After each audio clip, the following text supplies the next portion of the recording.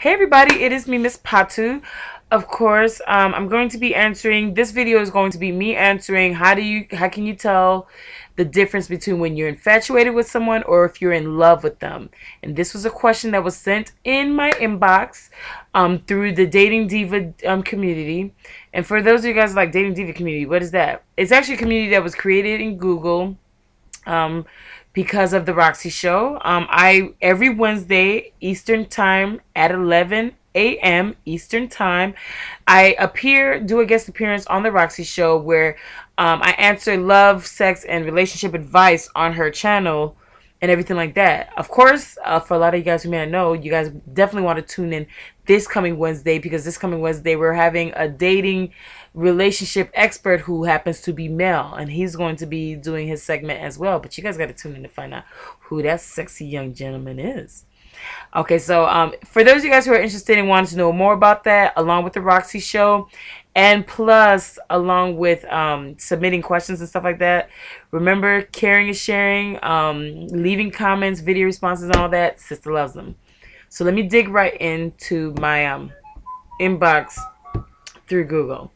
So far, I got a message from a guy named Edu, and I'm just gonna pronounce it Edu. Please don't be upset because I know your name is spelled E D O, but I don't know how to pronounce it, so I'm gonna say Edu. From Korea, he sent a message saying, "I just got some. I just got into a new relationship. I don't know if I'm really in love with her." Or is it just infatuation? I need some love and relationship advice because my heart is very fragile.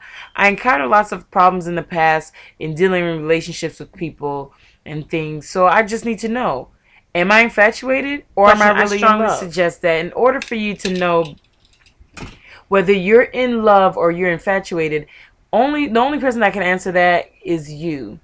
But the only way you can get closer to that answer and finding out whether you're in love or not, you have to come to two terms.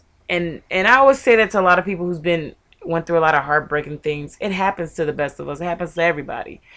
You have to learn to accept and expect. I'm going to say that again. Accept and expect that when you put yourself out there, if you're looking for the one, if you're dating in relationships, even through friendships and stuff, that you're gonna go through your ups and downs, the the good, the bad, the ugly. That's just part of it. Um you're gonna you're gonna win some and you're gonna lose some. But if you really look at the bigger picture at the end of the day you really don't lose. There's always a lesson to be learned especially in those moments where you, you don't get what you want so now that that's been said because you already come into the mind frame to expect and accept that hey it can work and it cannot work that's a good way to start. To find the difference between whether you're in love or whether you're infatuated with the person, you you have to come to understand that when you really like somebody, you're gonna be so blinded by how much you like them that it comes off as love sometimes, or it comes off as infatuations and all types of things. That's just a given. Only way you can really determine the difference is through really communication, going going through things together, spending time with this person is the only best way that you can know and find out whether you're infatuated or in love. You have conversations. You learn and structure your relationship through communication. The basic structure, basically. Um, you communicate your deal breakers, their deal breakers. You communicate about your future, their future. You speak about um, your future, and if you see them in it, you you involve that in. If if they see you in their future you do the same. If if they speak about their future and they involve you in it that's a good sign.